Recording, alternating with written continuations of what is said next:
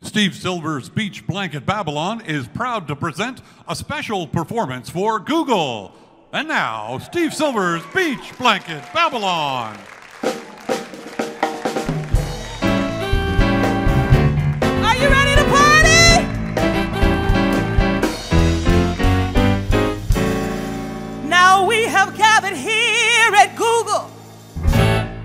To tell the story of a very famous show. It's the longest running musical review on the planet. And it started up the road in San Francisco. Now, the storyline is simple. I'm gonna help you all understand. It's about Snow White trying to find her prince. My job is to help her with her plan. It's got big hair, big hats, and costumes. That's kinda how the show began. And it was created by the genius Steve Silver. One incredibly talented man.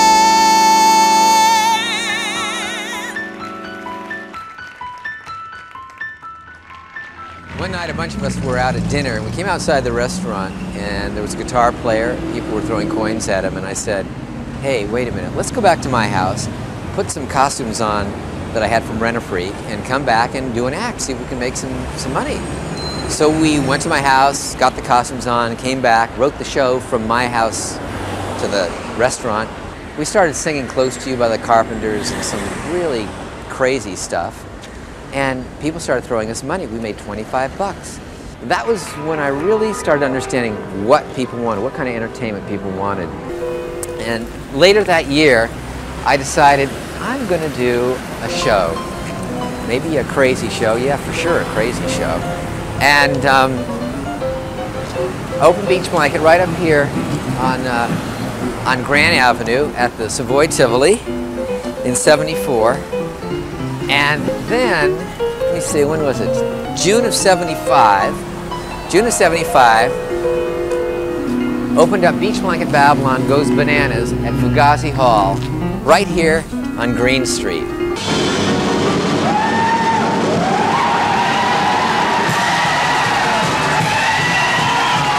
Oh, in the beginning days, I did all the hats. I would design them, and then I would make them. And I, I don't know how to sew. I just kind of glued it all together and stuck things in styrofoam and prayed, crossed my fingers.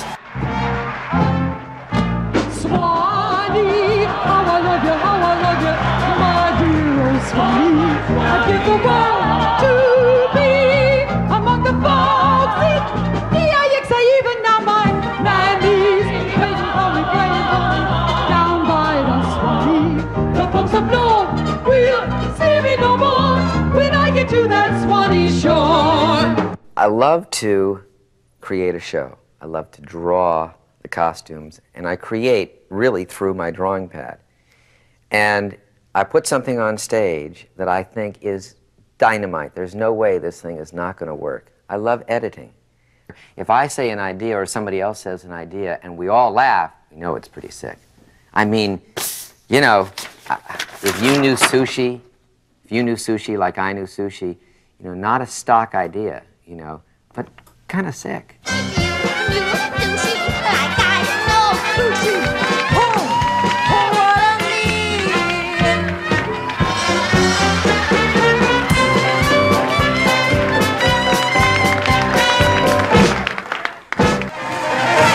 One of my all-time dreams years ago was to produce a show with Annette Funicello. It was impossible to get Annette Funicello. People said, you'll never get her. And of course, when people say you can never get anything, you can never do it, that's when I try harder. And I, I knew I'd get Annette in my show. In my mind, Annette Funicello was a star. And she was so great to work with.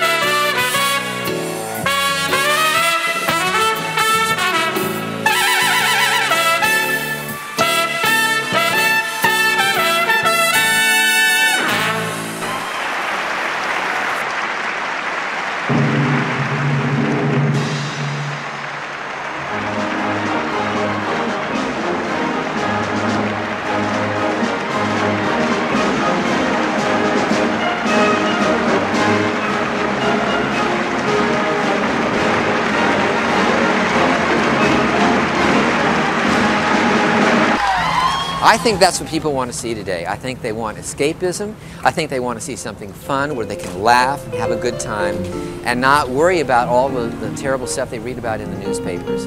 So in our own little way, we're doing something to help the world. We're doing something to make it a little bit more joyful.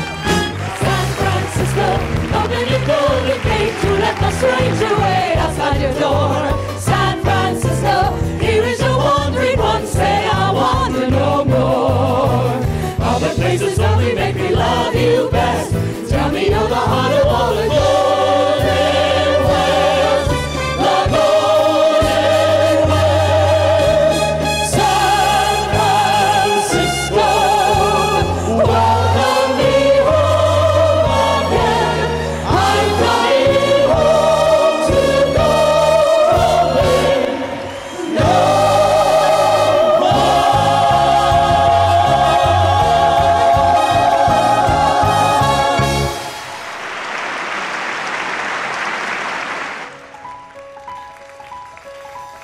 Once upon a time, there was a young girl looking for her prince, and her name was Snow White.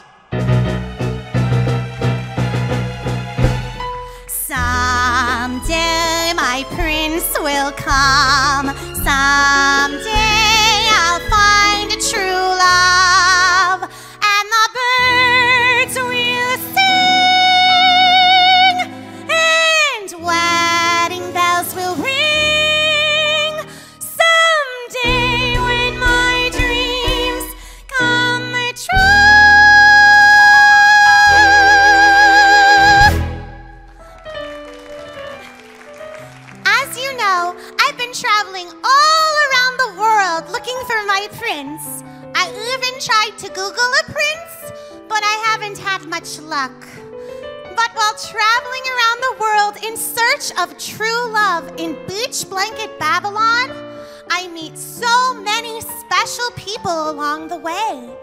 Politicians, pop culture icons too.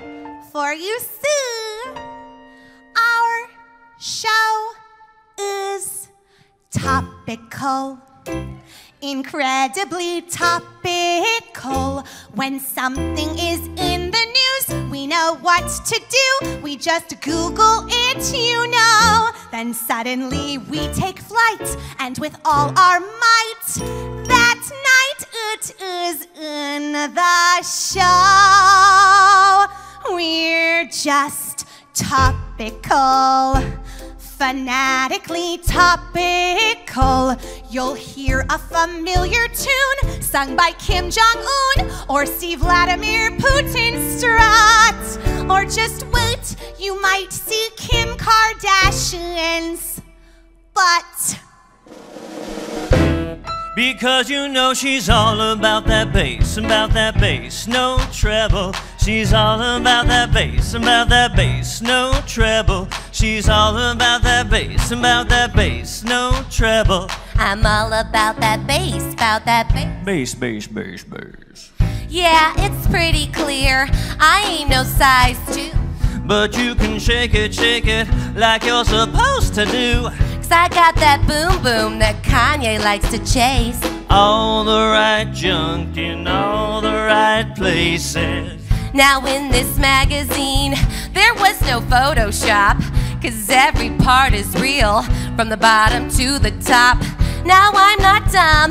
Best you don't forget this greasy rump of roast smoked the internet. I'm Iggy Azalea, the new girl on the map. Though you may not know who I am yet, hell, I don't give a crap. I'm the hottest Australian sensation, so watch me strut. but unlike me and Nicki Minaj, you ain't got no butt.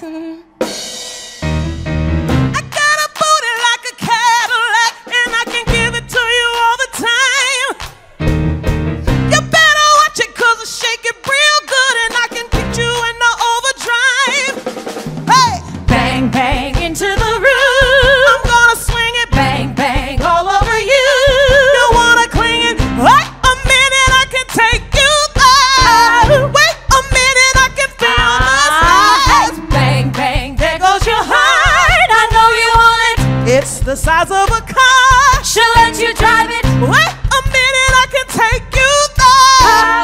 Wait a minute, I got lots to ah. show. We got big booties, like a tank heavy duty. They are weapons in crisis. They could even crush ISIS. They're a cute gladiola, spicy as gorgonzola. The junk in my trunk could resist Ebola. B to the A, to the N, to the G, to the hey. B to the A, to the N, to the G, to the hey. Here's to the booty girls, we do it well. Now give it up for my sister Adele.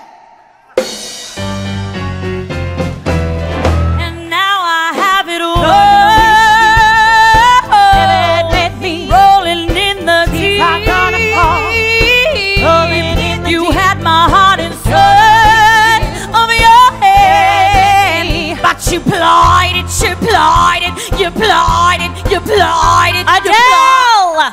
What? I'm not finished yet. But you plied it, you plied it, you plied it, you plied it to the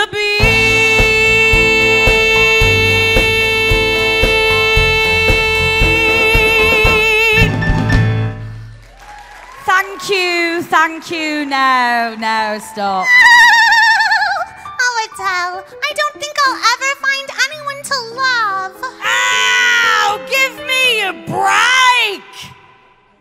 You need to calm down. You'll find yourself a bloke, and when you do, you're gonna look him straight in the eye and say, At last, mm, my love has come along. My lonely days are over,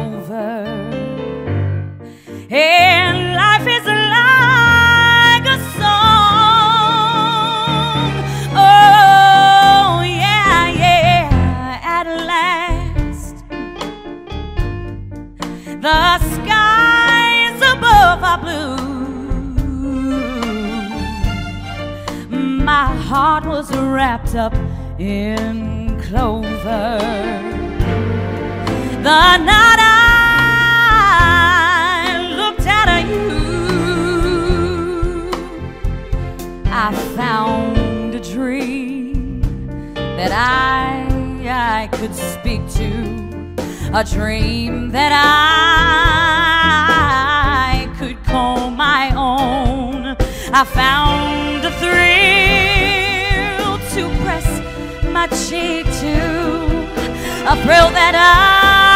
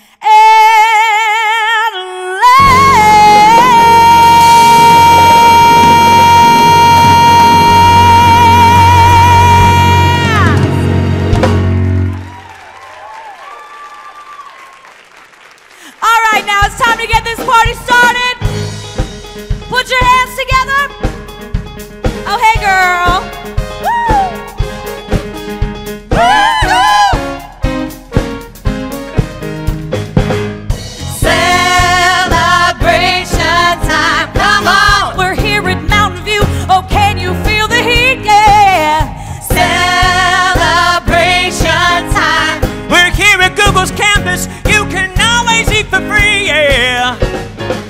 Now there's a party going on, you see. You know that Google's the best place you can be. You make decisions in a googly way. Celebrate diversity every day. Celebration. There's Larry Page and Sergey Brin,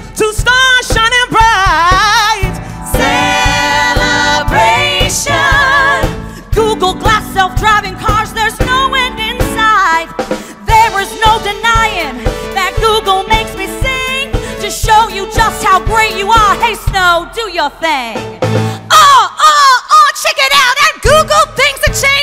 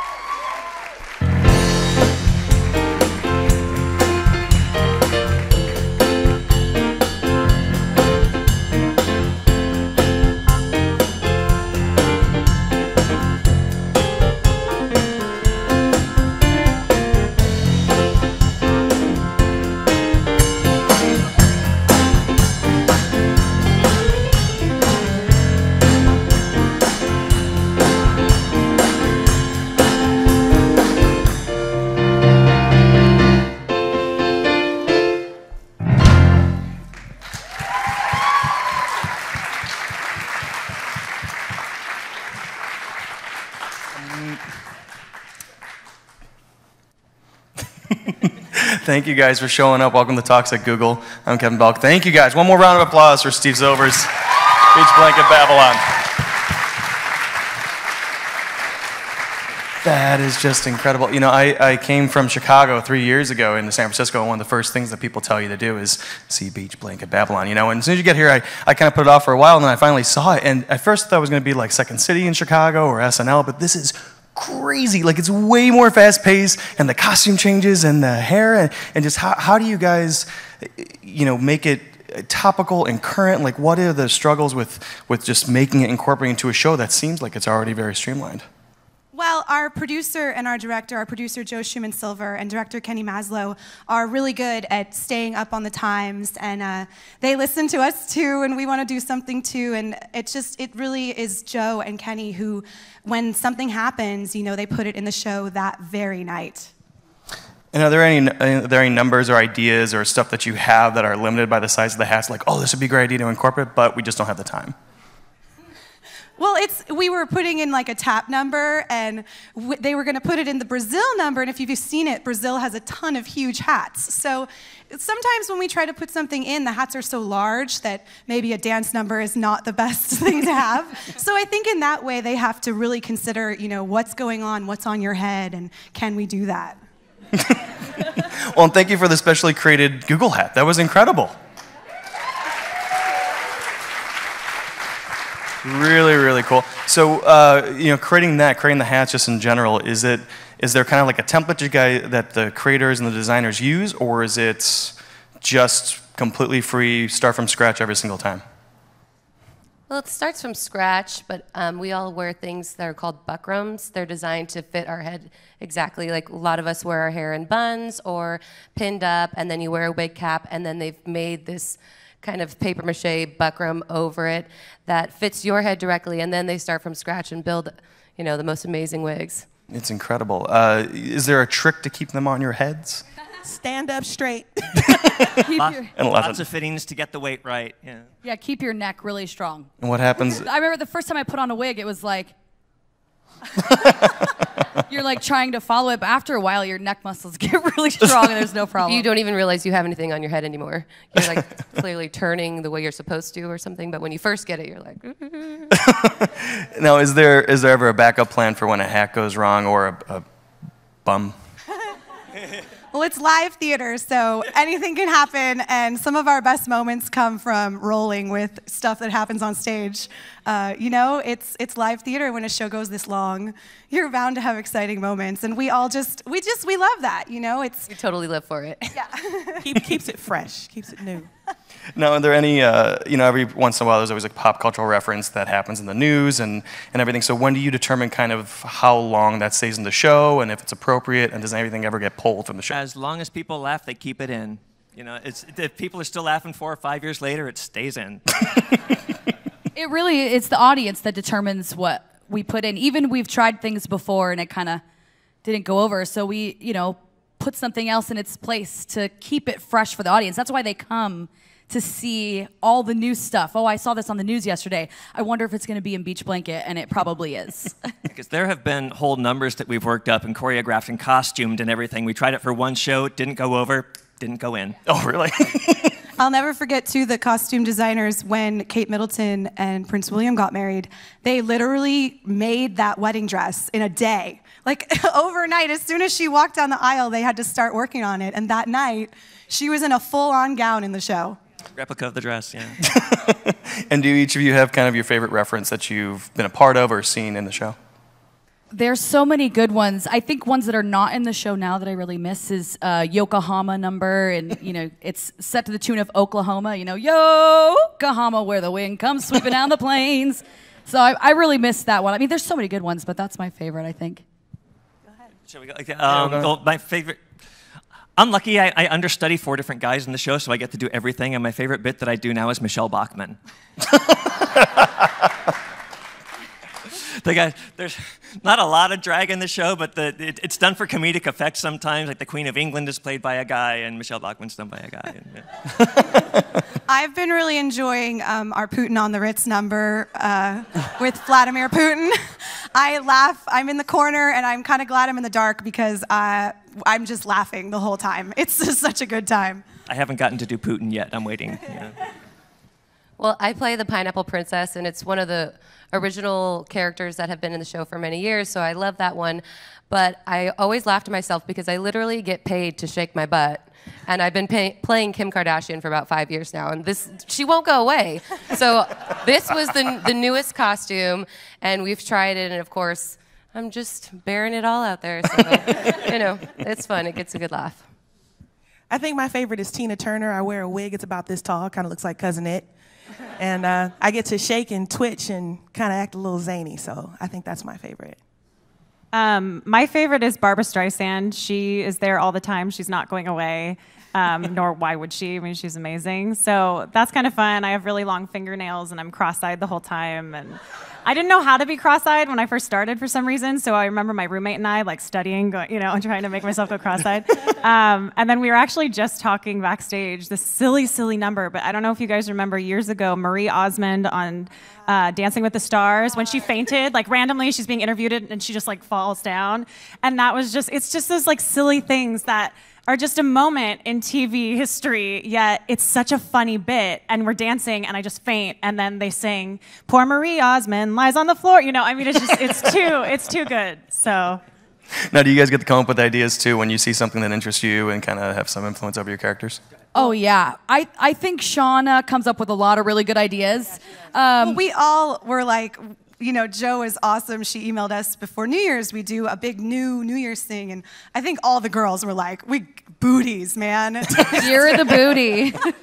One of the guys in the show has been campaigning for Putin on the Ritz for years, and so it's we're glad it's finally in. That's great. And uh, what are some of your backgrounds in terms of uh, theater or improv or? Um, well, Shauna and I actually went to college together. We both went to UC Irvine, Southern California.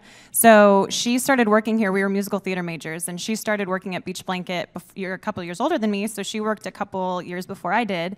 And then she's the one who kind of got me. I had grown up in the area, so I grew up. I went to my 21st birthday party was at uh, Beach Blanket actually, so that was kind of fun, you know. But um, but yeah, so it was it was really fun to kind of come full circle, and we had another UCI guy working there too, so it was really fun. I think uh, it's a lot of theater background, but we all have dabbled, I think, in other things. I know I spent six years in New York. I know Caitlin did as well. So you kind of go and here, what's nice about it is that it's, you know, I mean, the show's been running for 40 years, seemingly will run for another 40. So as far as I can see, as long as I can stand up and sing, I have a job. so, and I get to go home to my family and not, you know, and have my kiddo go to a great school, you know. So to me, it's like, I can't believe I'm the 0.0001% of people who gets paid to do this for a living. And as wacky as it is, it's so fun. It's, it's, it's incredible and fun to watch. I think that's the thing too, is why the audiences keep coming back. Now, in you know the 40 years, how have you seen the show just evolve in general, other than the pop culture updating and stuff? Have you seen the show evolved? Ooh, yeah. I mean, for sure, it, it has taken sort of a natural because the times change and th- interests change. You know, I mean, we still have a lot of old-fashioned references, but we're really topical. I mean, I know that's as cheesy as it sounds in that song, but we keep everything really fresh all the time. So the show has to naturally change. And with the internet, and I mean, nowadays it seems that the show has gotten so fast because we have everything at our fingertips on YouTube and Google, and we, I mean, it's it has to move. I think the difference too, like I started 10 years ago, there was a lot more time to change your clothes, and nowadays it's like people have ADD, like you got to move on to the next thing. So the show has gotten really fast. But I think one of the things that I really appreciate is that Jo and Kenny have a tendency to keep the iconic Steve Silver Beach Blanket Babylon icons in the show. So Planner Peanut, Pineapple Princess, um, King Louie, Barbara, King Louie. They're still in the show, but they're topical now. So King Louie is singing about something that you know is appropriate and applicable to today. Planner's Peanut is carrying an iPad. You know, so it's it's fresh, but it's still you know paying homage to where we started 40 years ago, which was with Steve Silver and this great idea that he had. Yeah, you know, it's, it's a really a Bay Area institution, and you know, anyone who comes here really has heard of it. So, has that really helped kind of have your permanent home here and help kind of shape the show and just to be like, this is a complete iconic thing when you come to San Francisco, this is the thing to do? Well, yeah, you know we're in- it's. I'm sorry. You know it's funny. I'm just going to interject because we were talking in the dressing room. This is the first time that any of us can remember doing a PR where we did not sing San Francisco. It's it is such an ingrained part of what we do, and it's it it really does, as you say, shape the show and shape the the themes and the, the methodologies that are in play. It's because of this unique and fantastic city. I'm sorry. And I was just oh. going to say that you know, we're in all the travel books now. As far as you know, when you go to San Francisco, that's right there. That's one of the attractions. Just come see our show. Yeah. And I can't say how many times, and it's really touching. I've seen when we're, we are singing San Francisco at the end of the show, for whatever reason, you don't know their story, but there might be someone in the audience, and you'll see them sort of like wiping tears away, but they're smiling, they're so happy. So maybe they've moved away and they've come back, or they're visiting, or there's some, there's something, you know, touching them about it. And it's just, it's really lovely to see because we touch people every night while we're performing, and it's like, it, that's why we do what we do, you know?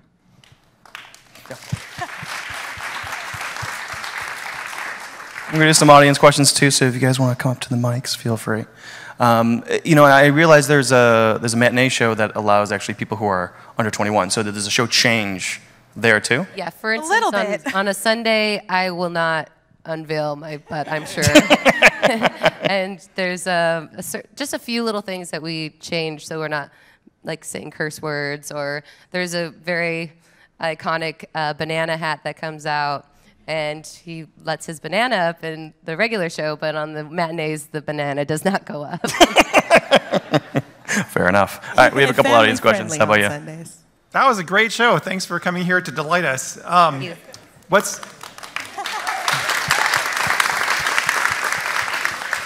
what's what's your creative process for coming up with the new songs, and how long does it take you to to learn the new lyrics and present them? That would be Katie Kenny, and Kenny. and Jo. Well, and Kenny let us Jo. not forget Bill Keck, And Bill our Keck, our composer. amazing musical I director. mean, he puts together all these segues of tons of songs that everyone knows all in one number, and it's just incredible. And so he and Kenny collaborate on that. Sometimes it's really fast if they're really trying to get it in the show, like right away. Um, you know, Kenny will come up with, with a number. Kenny and Joel write a number like overnight. Uh, so it just kind of depends. If it's a number with a lot of people and costumes, it takes a little bit longer.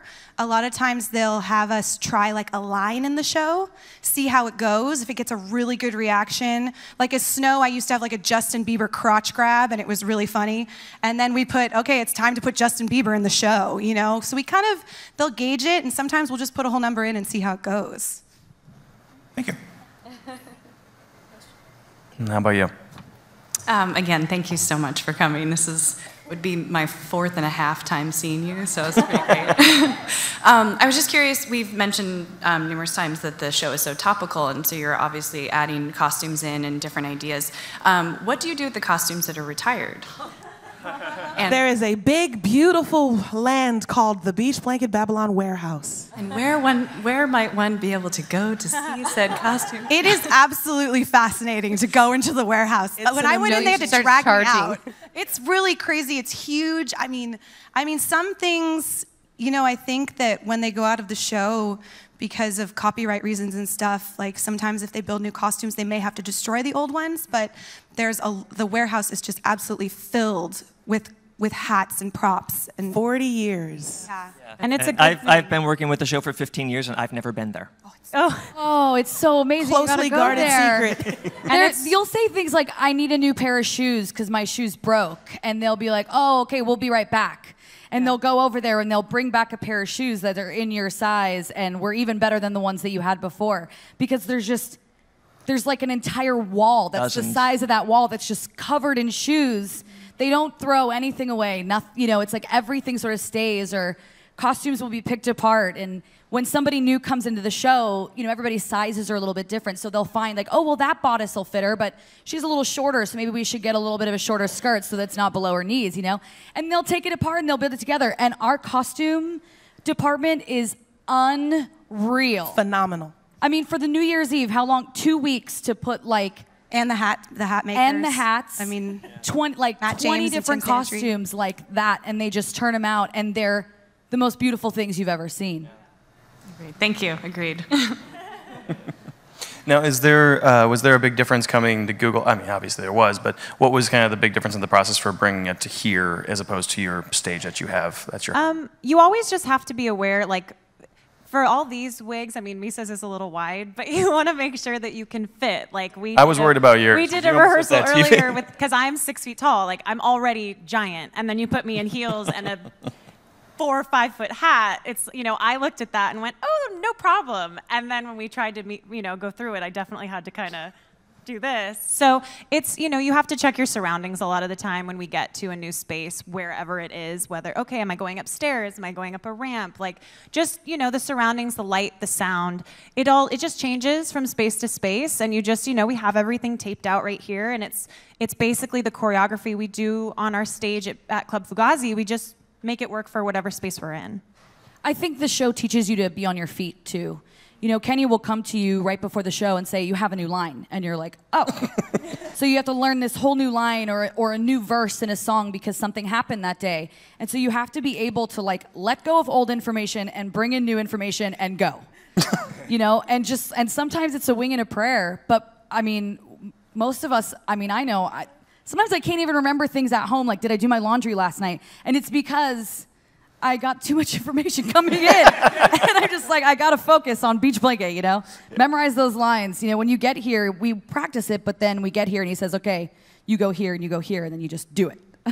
well, and I'm the queen of gibberish.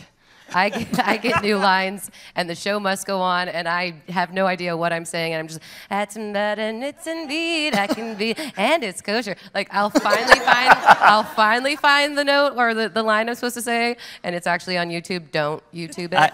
um, I was on stage with her when she did that, and she was so committed to her gibberish. There was, there were people in the audience who said, "I was, I had a really hard time understanding her. Like they thought she was talking."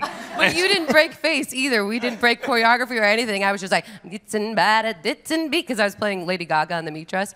But I mean, sometimes your mind just goes and you have no idea why, and then all of a sudden it pops back into you. But you just got to keep going, you know. And this, I mean, this show transcends different cities too, because you guys have done this, I think, in London, right, and New York. So, I mean, the res- uh, Vegas, Vegas. I'm sorry. And so, I mean, it's been. Uh, how was the reception there? Uh, I don't think any of us were here, but I know that the, both shows were super successful. Um, I'm so jealous. I want to go to London. I know. People come, Come on, all the Jo. time and they're like, when are you coming back? You know, we want to see you in New York. This would do so well, you know? I mean, who knows? Anything is possible for the future, I think. That's good. Next question. Um, hearing you talk about the process, I'm curious about a few things. One of which is, how often do performers change, and what is the audition process like? Hearing you say all these things with a theater background, but it does sound like you need to have maybe some sort of improv background or ability to really just remember things and do things on the fly. So I'm curious about that. I actually think I'll speak to that because I'm the only one up here that actually does not have a theater background. I actually used to work here, believe it or not. Um, What's really interesting is that Kenny and Jo and just the team, they make it so easy if you just have a lot of personality um, to kind of step in and they will help you, you know, and then you have your castmates and you've got a wealth of background in history and theater, and they'll help you to kind of guide you along the way. So the audition process, my audition story is a little different from everyone else's, but there actually is an, an annual audition for Beach Blanket Babylon. Typically happens in September. Um, I actually had a private audition because I knew people who knew people. Uh, but it's a really great, um, it's a really great type of a thing because it gives you an opportunity to come in and they'll give you what you need to know. And they'll say, you know, prepare to sing like Barbra, prepare to sing Am, uh, Ain't Misbehaving, prepare to have a country twang and speak with like a Brit, as, as Stephanie does so wonderfully. Adele's my favorite. I love her. so, so you have an opportunity to really showcase. So maybe if you don't have that theater background, but you have a lot of personality and a little spark, and they, they will recognize that in you and they'll give you a chance. They gave me a chance. I actually went to the open call. The, fir- the first year I auditioned, my grandmother was like, "Oh, there's a thing in the newspaper. You should go." And I wasn't gonna go. I, you know, I just moved home from New York City, and so I didn't prepare anything. And I thought, well, I guess I'll just go. I'm here. I might as well. And I go in, and I had no idea what I was in for. You go into this room. And I didn't know anyone. I mean, I didn't know anyone. I'd never seen the show before. I'd heard about it growing up here. My parents went, but I never saw it. So when I went and I went up to sing, and I think I was in like the first group, and I went up there and I sang my solo, which was like maybe this time from Cabaret, you know? And I'm singing my song, and then afterwards he goes, Okay, that's great. Now can you do it like Ethel Merman? And I was like, Uh, I think I can do that. and I did my Ethel Merman, and I, I walked out of that audition and I thought, that was bizarre.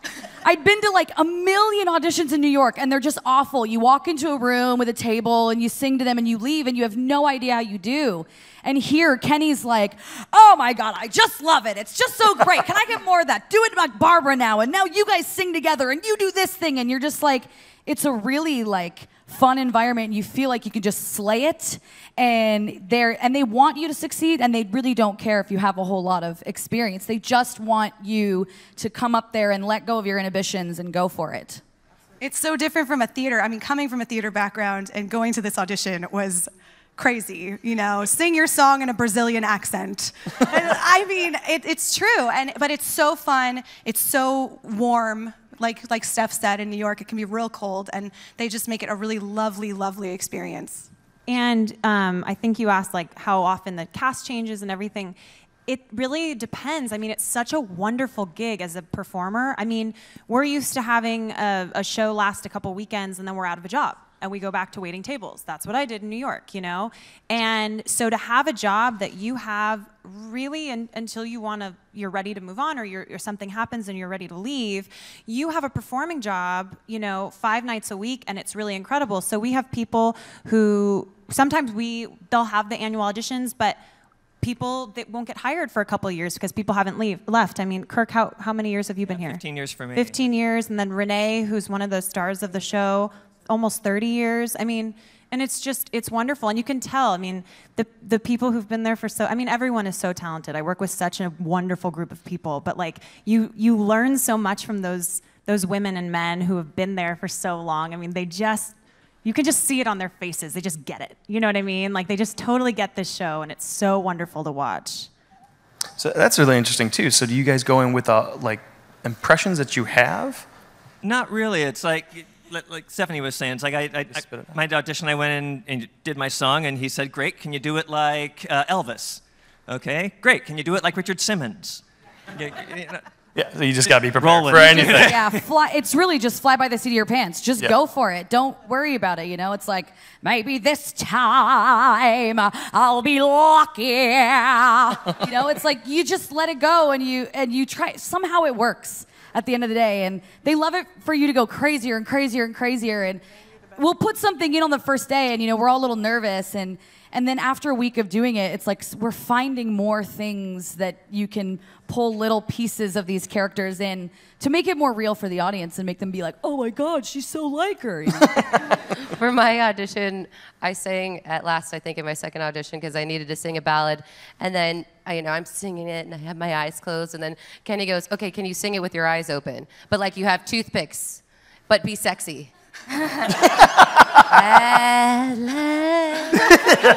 Open your eyes, be sexy It's Yeah, one of our favorite things. It's the funniest Like thing. Okay. Open your eyes, be sexy. it feels so funny, but it's true. That's beach blanket, you know? Uh, another question over here. Uh, yeah, so I think you guys just kind of touched on this a little bit already, um, but I am curious. I love that you, the, the guy in the red vest, you play Michele Bachmann. Um, so how, like, specifically are characters chosen? Like, if at night do the producers come and say you're Vladimir Putin for the night? Um, like, how is that decided? And is are there particular characters that everyone wants to play, or Well, very well, hard there's to play? th- there's f- ten principals, five guys, five girls, and out of the principals, they decide who does what. And then the understudies just sort of adapt to what the principals do. And Like I there's say, I, I cover four people, so I do everything that's not done by a black man or a woman. Um, But there's tracks that's specific. Like mine's, you know, the ban- I do Chiquita Banana and Jackie's the Pineapple Princess. So we kind of know which roles come with that. And then it sort of depends on, well, do you have a break right now or are you on stage? Okay, you have a break? Okay, so we want you to be, you know, it sort of depends on timing and everything as Who can well. make the change. Exactly, who can make the change, yeah. Unless, of course, you're the black girl. Yes. In which case, you get to play all of the black roles. So I play, my, my principal and I, there are three of us on cast, Team Black Girl.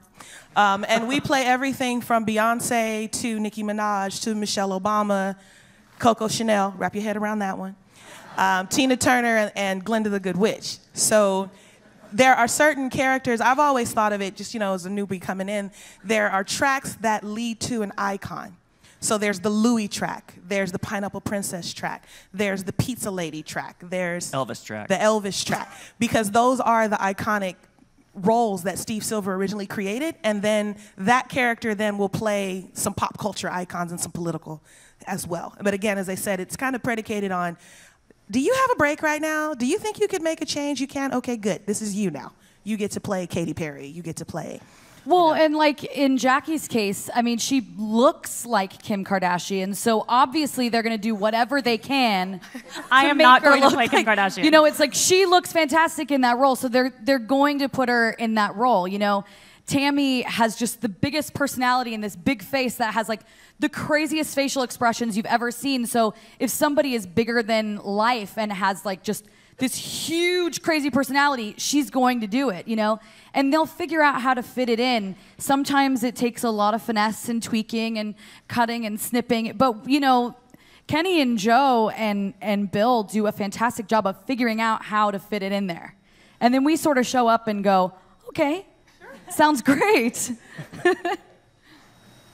That's great. Uh, I do want to. Any more questions? One more. Yeah, I, I was reading in the brochure about a, a scholarship program as well. Could you talk to a little bit more about that? How you recruit the next um, generation of folks? I'll take that one. Um, so actually, it's it's a really wonderful thing. I took place in it a long time ago. Um, it started in 2002, and I was going to college. It was my senior year of high school, and um, they, it's. Is it just Northern California? Is it the Bay Area, Jo? It's the Bay Area. Bay Area. Within a certain radius of the yes, Bay Area. there's a certain radius, and they um, you can audition whether you're a dancer, an actor, or a singer, and you send in a videotape. And it was sort of a kind of the same thing. I think what you were saying. My mom saw it in the paper, and, and it was like the day before it was due. And okay, let's in the living room record you singing, you know, a song, and we'll send it in. And so I was one of the three singing finalists chosen. And then it's really, really amazing because I was 17 years old and I got to go to Club Fugazi and I met all the cast. And of course, I'm like completely overwhelmed and terrified because these people are amazing. And it's a live night. It's you get to invite friends and there's a panel of judges and each um, finalist performs whatever they've chosen to do, whether it's a dance, acting, or singing. And um, a winner is chosen. I did not win, um, but uh, came in second. Um, but We the winner, about that, though. the winner receives a ten thousand dollars scholarship in each category. So they give thirty thousand dollars away each year, and it's a really amazing program. I mean, it's such, and we watch, we perform at it every year, and we watch these kids, and the talent that comes through is just incredible. I mean, there's been, if you guys watch So You Think You Can Dance, there was an amazing dancer Katee. I don't remember her last name. Um, what is it? Shean, yes. Yes, she was she was a finalist and she won Third the place, scholarship. yeah. Oh, third place. No, she, was, she was third on So You Think You Can Oh, there that it is. but she won the place the scholarship, scholarship. and it's a really, really amazing program that um, that Jo and, and Steve, you know, left for her to to kind of take care of, and it's just such an amazing thing for these for these kids to be able to come in and have such a huge, you know, chunk of change to put towards their college education right away. So. Yeah, And that's the Beach Blanket Babylon Scholarship, for the Scholarship. Arts, Mhm. right? Yes. Yeah. So if any of you guys are interested, to look it up. Yeah, if you know any high school, like seniors, juniors, it's going to come up this year in June. Let them know. It's a really June 1st. Information's on the website. Yes, definitely, definitely tell them about it. Well, let's thank the cast one more time for being here.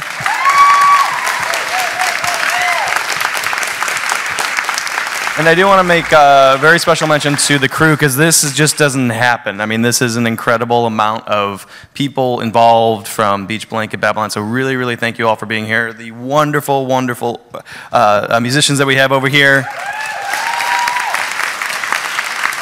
the people in the back who you can't even see who are there helping change the costumes and make sure everything's perfect and you know the costume designers and the wigs and the, especially making the google hat or the google wig that's just incredible you know and of course jo kenny all of you guys thank you so much Anyway.